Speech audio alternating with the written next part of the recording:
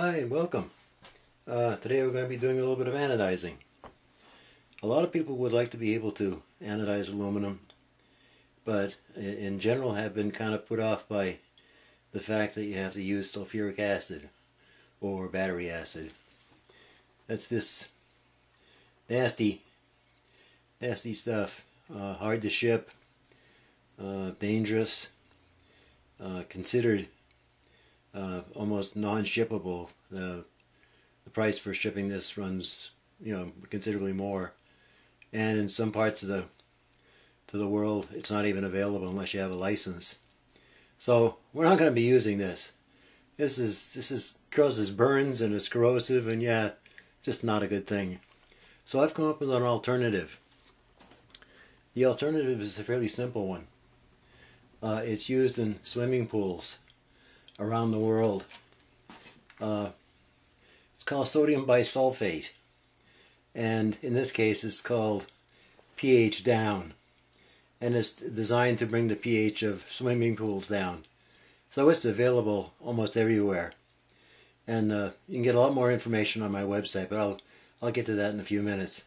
But this is a material that is uh, easy to transport, usually easy to find locally, fairly inexpensive, and it does as good a job as sulfuric acid does. And uh, we'll show you how it's done. Uh, let me show you a couple of the things that I have have done. And this is using RIT dye. A RIT dye, as you know, is for, clo for clothing. But you can see that the results are are reasonably good. Uh, they are uh, since they are designed since the dyes are designed for for clothing uh, it's not going to be as good as the professional uh, dye like Caswell uh, or there are others that are really designed for uh, doing aluminum so I also tried some some wire. I don't know if you're going to be able to see that, but I was thinking about crafts and what, what might be able to be done with crafting. And uh, so there's a some aluminum wire. I also even tried uh, heavy duty aluminum foil.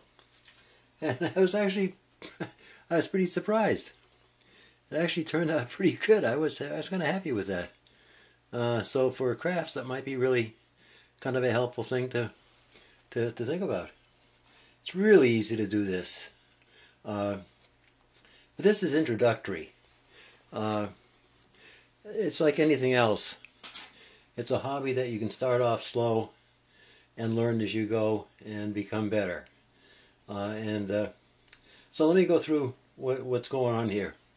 Uh, this is a 2% solution of sodium hydroxide, which is just simply you know, drain cleaner, household dry cleaner. It's uh, it's 100%, and uh, this is a 2% solution, so it's it's fairly weak. And this is a rinse water, and this is the sodium bisulfate, and I already have the cathode in here. It's just a a chunk of uh, aluminum, scrap aluminum that I had around, and uh, so that's that's pretty easy to find. This is a 20% solution of sodium bisulfate, which is this. And uh, so pretty straightforward, no, no big deal. So the sodium hydroxide is an alternative step. Uh, and I'll, I'll go through it real, real quickly. Uh, and then they have, we have another rinse, and then we have the, the dyes that I have. And I'm not going to go through the, the whole process. You've just seen what I've anodized. So, I mean, it's going to take, it takes a little while to do this. But a couple of key details. Uh, the first is that one of the keys to uh, having good anodizing is in the cleaning. So frequently, what I do, uh, and I'm going to correct, this is actually an update from uh, what's what is on my website. This video is, a, is actually an update. And one of the mistakes that I made on that first video was the fact that I used steel wool. And that should not be used. uh, that can embed iron in the aluminum surface. Now, aluminum uh, actually has a coating on it already uh, of the oxide. It comes as soon as it's it's forged or manipulated in any way. Uh, it forms an oxide as soon as it hits the air. It's aluminum oxide, and uh, so the purpose of anodizing is to add a little a little more hardness, but in most cases it's to, as I've just shown you, to become uh, more decorative, so you can dye it, and uh, you know, change the colors and have some fun with it. So, uh, if you use the sodium hydroxide, which I'll I'll show here, and one of the one of the things to to to consider is how do you connect the how do you connect the parts so that you don't have any anything other than aluminum inside the etching solution, which is true for all anodizing. So I just use a piece of aluminum wire and just kind of force it in so that it makes contact. So, you know, move it around a little bit and then you can just put it in. It only takes a couple of minutes and uh, you'll get a reasonably uh, good clean etched, etched surface. However, it will be a matte finish. If you want uh, a really a, a, higher grade finish, then what you're going to need to do is uh, use something like Scotch-Brite, and that's this material, and a detergent, and then just kind of clean it up as, as best you can. Uh, if you want a really high grade, then you need to polish it with either a high-speed Dremel or you know some kind of a, a, a buffing wheel uh, that jewelers would use or you know some people have these at home so once, you, once you've you've etched it then it's simply into a rinse solution and it's ready to go directly into into the into the anodizing solution. And now in this case I've used I'm using a power supply that's uh, a 12 volt. Now I have used uh, these rechargeable batteries.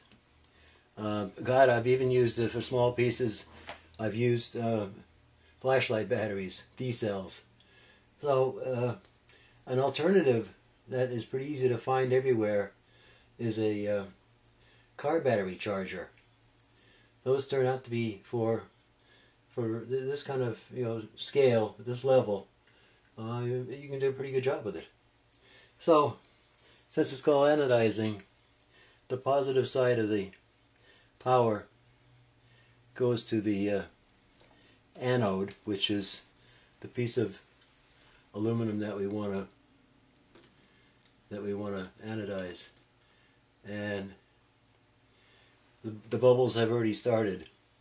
You'll notice right away there is a, a, a liberation of uh, bubbles on the cathode, which is the negative side of the power supply. and uh, oh, you also can use a wall wart. I was going to mention that too. Uh, if you have enough, uh, one with enough amperage. Uh, and in general, uh, the, the rule of thumb would be something like about 145 to 150 milliamps per square inch of aluminum. Uh, so if you're doing six square inches, that would be, you know, you'd still be at 750 milliamps, which is less than less than, than one amp, and a lot of uh, wall warts will go to that without any problem at all. And you can really see the bubbles kind of, you know, coming off. Those are little hydrogen bubbles. And at this scale, they're not a problem.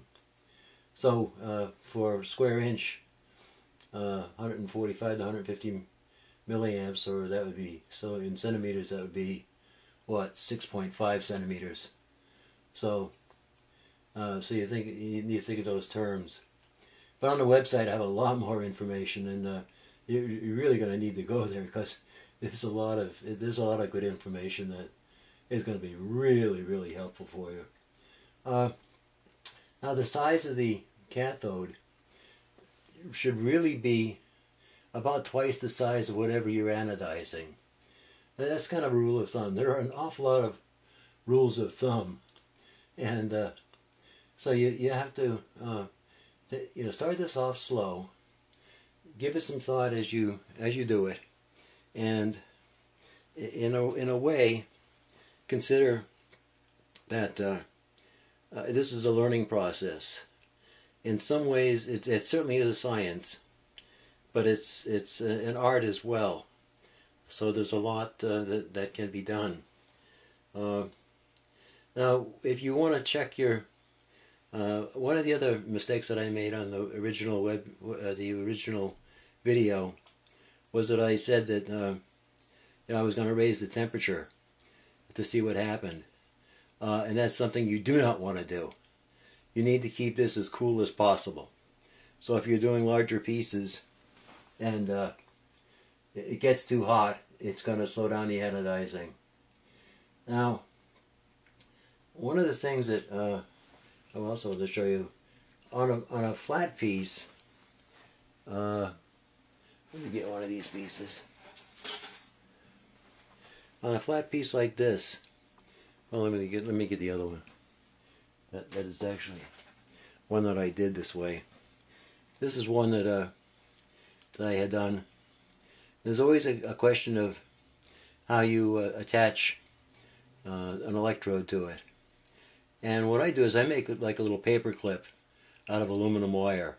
And titanium actually is a better wire, uh, but it's not always available. And you can just simply make the paper clip uh, the, the contact. And then uh, this is going to take about an hour uh, or so. So, you know, I go for 20 minutes and then I, you know, end for end it and do the other end so that the whole thing gets anodized. So that's one way of, uh, of, of, of making the connection. The other is to use an aluminum basket. Uh, there are food products. Uh, there's some you know, equipment they use for, for, uh, for you know, uh, sieving and, and all these kinds of things that are available in, in a local hardware store. Um, and when you anodize, the the closer it comes to to the end of the process, the more insulated the surface becomes. So what what does that mean? This aluminum piece of wire, and you don't want to put any other metal in there other than either aluminum or titanium. Uh, you really you really don't want to that'll that'll just contaminate it and it's it's going to cause a lot of problems. So when you get when I get done with this one, what I'll do is I'll take that contact out of there and I'll put that contact into the sodium hydroxide. It will clean off the surface again so that it's reusable and it's no longer an insulator. So that's one way to, to continue to use aluminum. If I were to continue to use that aluminum wire as a contact, it would eventually get to the point where it wouldn't it wouldn't conduct electricity. So, but here's here's one of what I wanted to get the one of the points I wanted to get across is that uh, on the website, uh, and I'll I'll certainly put a link to it. Uh, there are over 240 comments of people that have had great success with this process. And I developed this specifically to get away from battery acid because I knew it was getting in the way of a lot of people having some fun with this. Um, but there's a good write-up. It gives you the actual amounts of everything. Uh, and the video, you can watch the video if you want to, but it's it's it's very similar to this one, uh, with the exception of the credit, the uh, mistakes that I made there. Uh, but it's actually, uh, there's also a, an excellent uh, link to the Encyclopedia of Electrochem uh, Electrochemistry. It is an awesome, awesome article about uh, anodizing and how pores are formed and how they uh, how the dyes take, and uh, just a really good link, and that's at the bottom of the write-up. So I would encourage you to go to the go to the website and and read some of these comments and and uh, read the write-up. Uh, so when I get to the point where uh, I'm going to take this out eventually, you know, I'm not going to go through the thing because you've already seen the pieces. Uh, it'll go into a rinse solution and then go right directly into into the dye. Now, one of the things that, that you might want to do is is to have a uh, uh, pH paper, which is fairly fairly standard and easy to find online and even some hobby stores, and it'll tell you whether or not the acid is depleted. And in, in the case of an acid, if it's red, this says pH is you know we're we're fairly we're fairly low uh, on on pH. We're down we're down around two. So with seven being neutral, and you can use that same the same technique to, to check the sodium hydroxide.